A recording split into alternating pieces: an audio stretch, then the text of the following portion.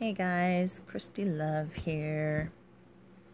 So, Triple was discussing public school, and one of the things that's always, I remember first learning my sophomore year in high school, um, that it is a board of members in Texas that determines uh, where our textbooks for the public schools come they're the ones who decide what go in the textbooks. Uh, ever since the beginning of the 80s actually. It was a conservative board ass couple clearly who wanted a more uh, God fearing influence on the uh, curriculum of the textbooks, being that they feared all these kids in a secular school were going to be godless. So they went with a group of supporters.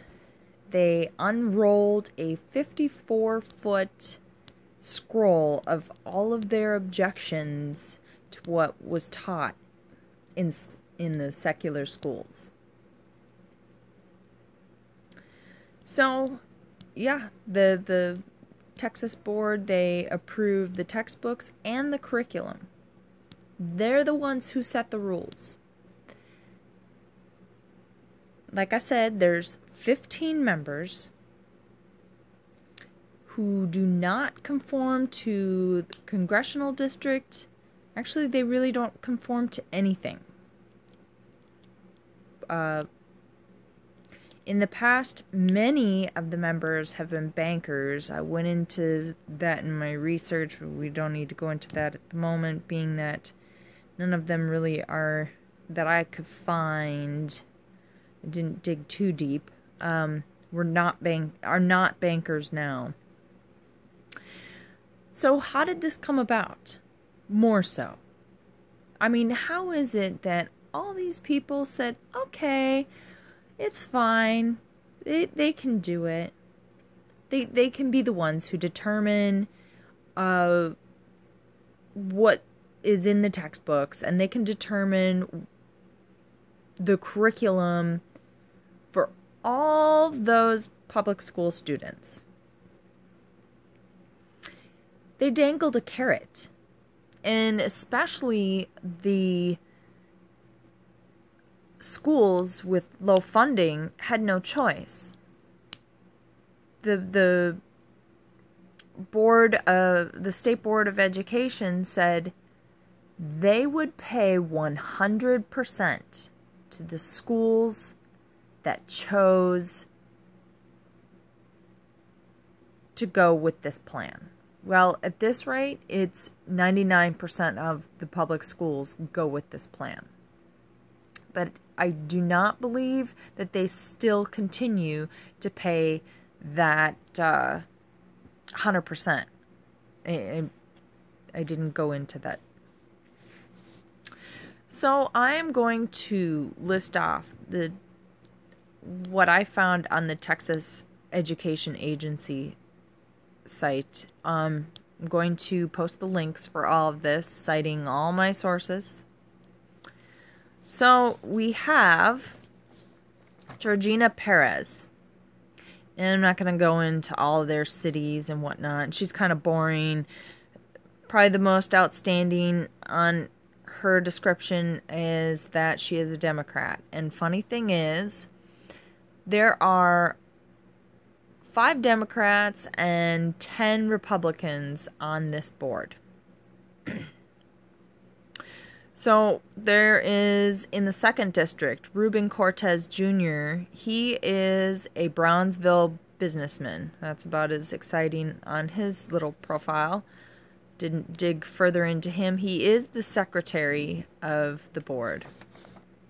Marisa B. Perez Diaz is in District 3. Uh, they really need to get someone creative to write her profile. There really wasn't anything there.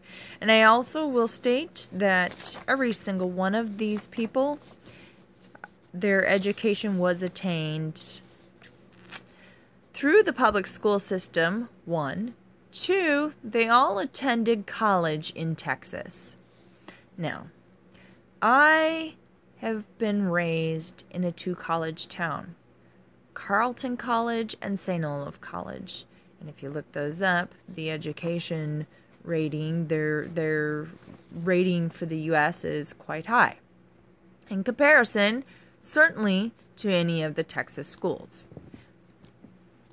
That's something I'll look up is the rating of the top Texas colleges. Oh, my point was very few of the students I've ever encountered, and I had worked at one of the colleges. I think I met one kid from the South. They're all from the Midwest or the East Coast, and a few, you know, along the West Coast, but very few from the South. And after having my daughter in public school in the South, it is no wonder why. And, you know, for those of you who are watching that live in the South, spend some time up north and you will see what I'm saying. You'll you'll get it, I hope. So, where was I? So, Mr. Lawrence Allen Jr. He has two masters. They are not listed as to what those masters are or where he attended college. Uh, that was further dug up, and he attended. I think it was uh, what is the one that's the the Houston College, not Austin, but Houston. Whatever. It doesn't even matter. So Ken Mercer. Mercer is a big name in Texas. Uh, he is a former Texas House representative. He has a master's in business administration. And we have Donna Bahorich. She is a chair member who's been a member for quite a while, off and on, from what I gathered. She has a bachelor's in science, financial management. Many of these, it's like about money. It is not about education. It is not about sciences, arts. She also has a master's master of arts in counseling. She's also a big time campaign hag. Then we have David Bradley. Oh, Mr. Bradley. The best they could say about him was he's an Eagle Scout. This man has something to do with writing the curriculum of public school textbooks. Seriously.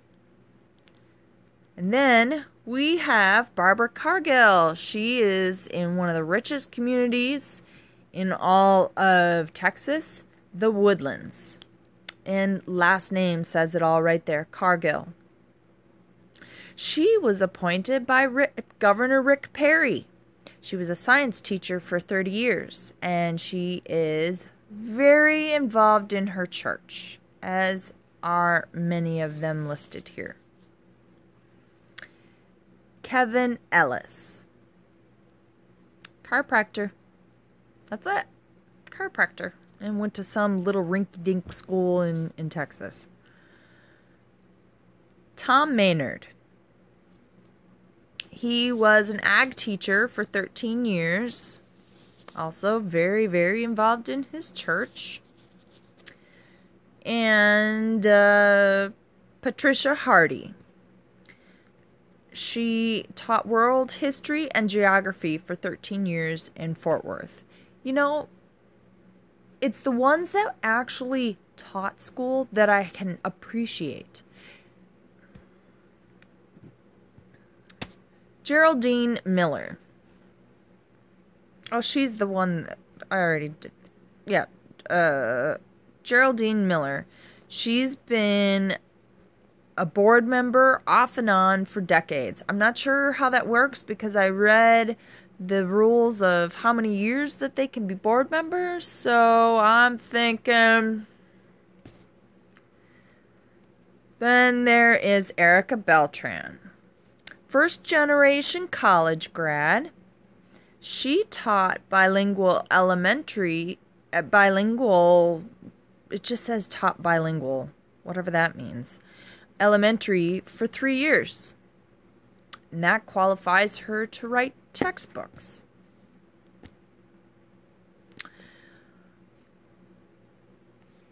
And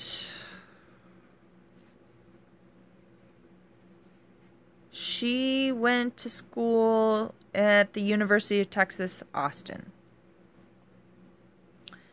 Got a master's there through LBJ School of Public Affairs.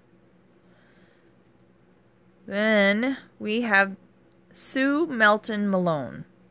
She taught tech in, in in Texas for 36 years. She's also a worship leader at her church. She attended Baylor.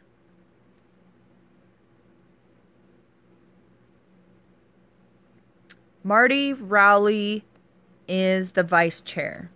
He has been an attorney for 20 years, went to Texas Tech School of Law, and now is a pastor.